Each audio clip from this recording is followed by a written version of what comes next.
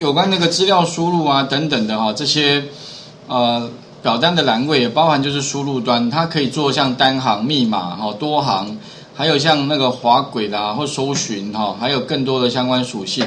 那里面的话呢哈，当然比如说嗯比较常用像一定是 input type 等于 text，text 就输入文字了哈。那文字的话当然就你数字文字都可以。另外，当然你也可以把它改成 password。如果 password 这边点点，好，这个应该比较没没问题啊。如果你是登录账号密码的话，按个登录，OK，这个我想蛮常用到的哈。那登录当然哈还有区分呢。将来你如果要做一个登录的画面，登录当然有分成就是，诶，server 端的登录跟使用者端的登录。哎，这个其实后面我我想我们再来看哦，有有没有什么方式？最好是你 app 一进去之之前，哎，可以先什么登录一个账号密码。哦啊，如果哎登录密码正确，那才可以进到里面，并且把它的相关的记录记下来，比如说他做了什么事，就是登录的时间等等的，可以把它记下来。OK，那再来其他还有像什么呢？像是多行的哈，多行的话，但这个地方的话就是一个我们要什么 test area，这个我们可以让它输入一些东西，然后滑轨的话有点像这样子，底下可以用。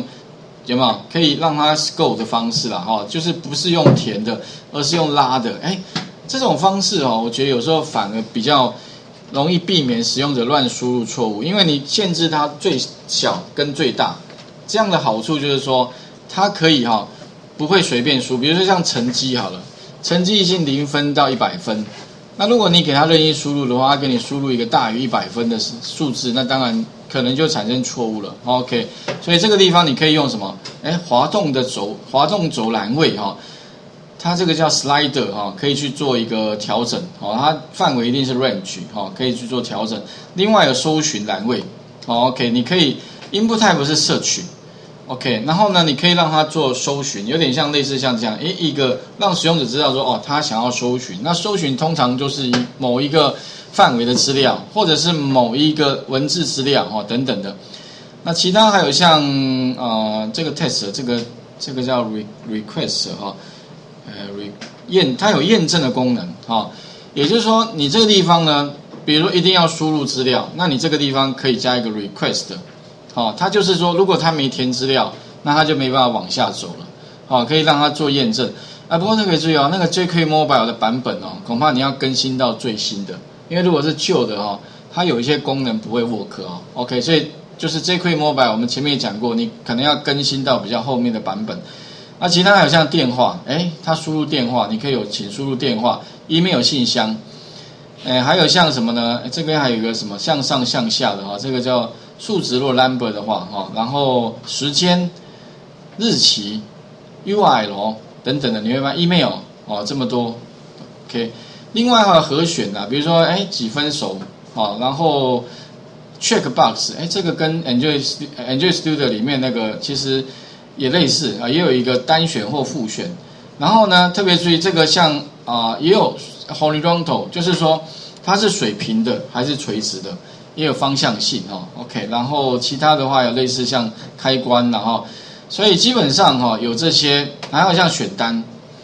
不过这个选单看起来好像没有非常的好看，它一点下去好像是是手机的界面，可是点下去奇怪好像变网页的界面。我试一这个好像这个部分，不过至少有一个选单出现哦，然后还有像什么呃一个群组的一个选单啊年月日啊等等的啊，另外像弹出式的选单哦，哎这个感觉有点跟 Android Studio 这个部分就比较像手机端哈。然后其他还有像弹出式的 checkbox，好，那诸如此类的，我想哦，这个第八章里面还有这些。那我们待会的话啊，就利用我们前面的范例来做练习。那首先请各位哈，先一样建立一个新的网页。那网页一样哦，先新增一个网页名称的话呢，就是把它存档啊，叫 ch 零三底线二。那这个里面的话，逻辑哈，就是我们前面的那个，呃，这个就是及格不及格这一个，OK，所以请各位就是先啊先学零三底线二，及格不及格。那我们需要第一个哈，先在这里面呢加上一些东西。首先的话呢，产生一个网呃网页之后，你再插入一个这个啊，讲这边第一个啊，反正就是开一个新的档案哈。那新的档案的名称，这个地方特别重要，跟前面一样，HTML5，按一个建立。建立之后的话呢，哈，接下来呢，请各位注意一下，反正跟前面一样，在 body 跟 body 中间哈，请你先怎么样？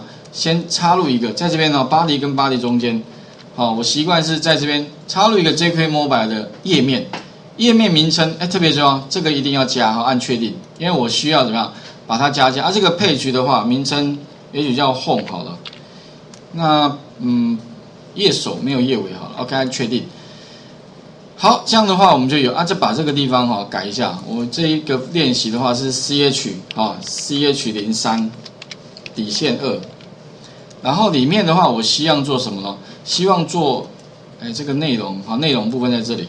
那我希望做啊几个，第一个就是说呢，哎，请输入那个啊这个数字，请输入零到一百之间的数字，后面加上一个输入栏位，再来一个确定。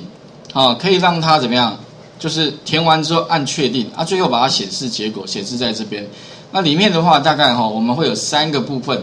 第一个的话呢，哈就是，当你这边哈可以先把它先存档好了。我建议是另存新档，哦，把它存档啊。名称的话，也许就 C H 零三零二，好，C H 零三零二啊。这边因为名称一样，所以把这个改一下。那第一个的话，哈，我需要有三个东西嘛。第一个，我要让它可以输入，所以输入的部分的话，那你可以用 jQuery Mobile 啊。我是建议你可以试试看，这上面有一个插入什么呢？文字栏位在这里，OK。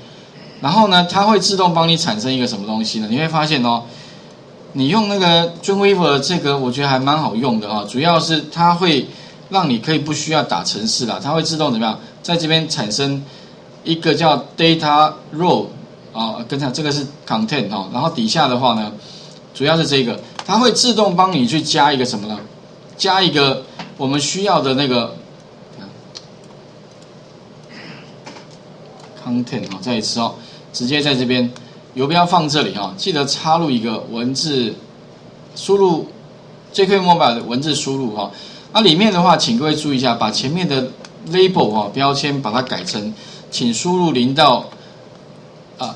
零到一百之间的数字，Enter 之后的话呢，再来怎么样？底下哈，再加上一个确定的按钮。在前面讲过，你可以先打确定两个字啊，记得在上面呢，把它的那个 data data row 改成 button 啊，确定。OK，连接的话哈，我这边改成井。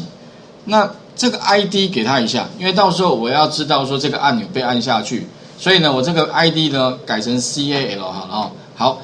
那显示结果部分的话，这个结果哈，其实就底下你就打一个结果显示就可以了哈。那当然，你如果是一个段落的话，或者是一个 div 都可以。如果是呃段落的话哈，反正你顶多是假设是一个段落的话，这边是 p 好了哈，p 是段落，啊后面结束也是 p 好了。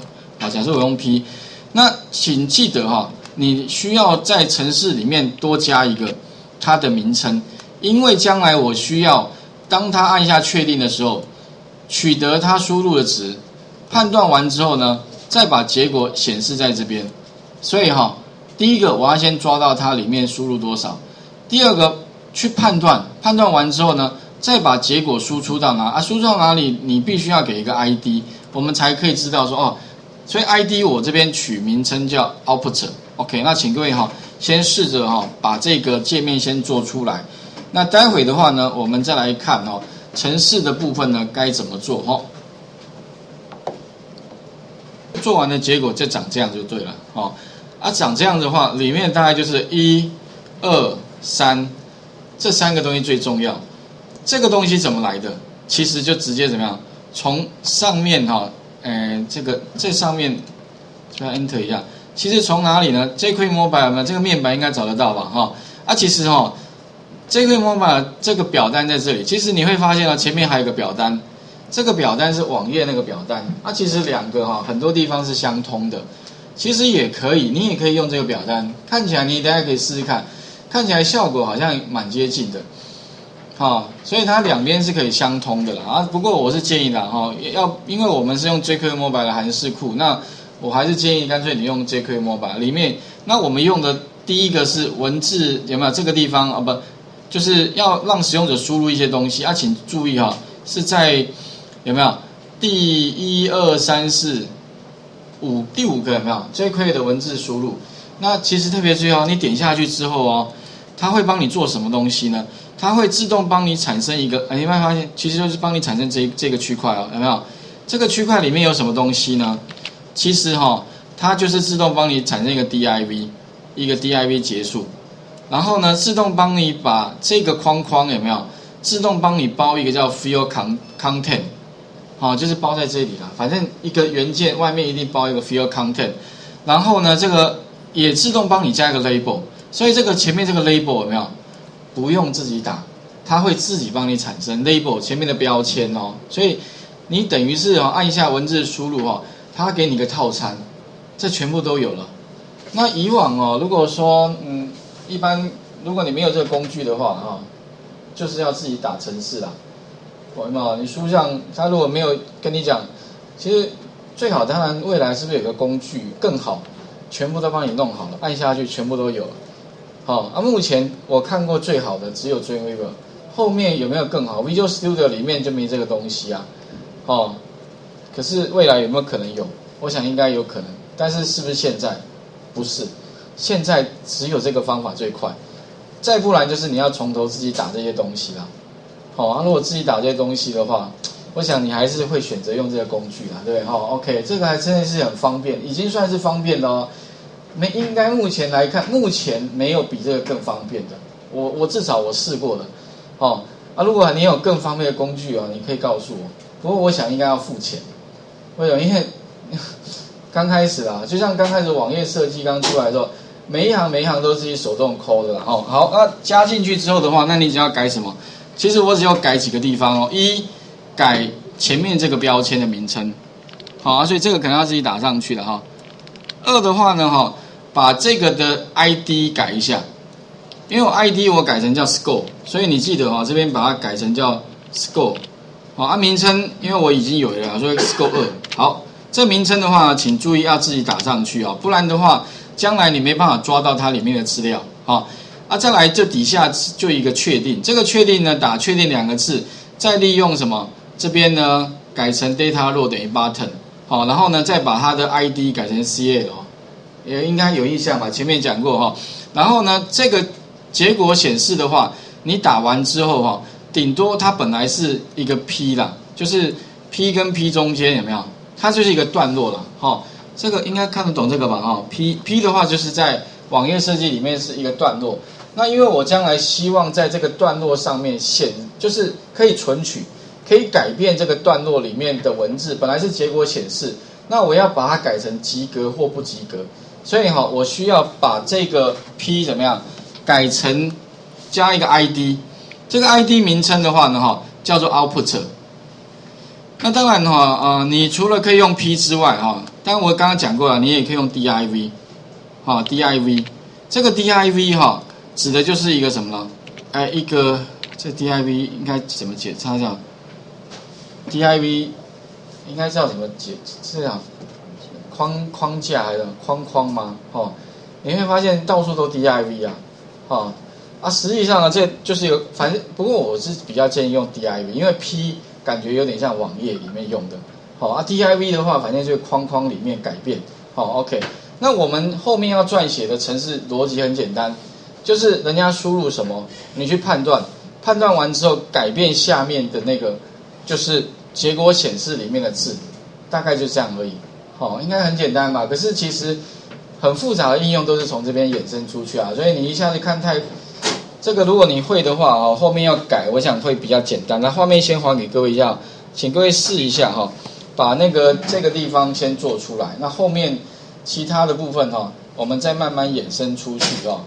啊，比如说后面当然还有其他的吧哈，其他原因常用的也许就是像。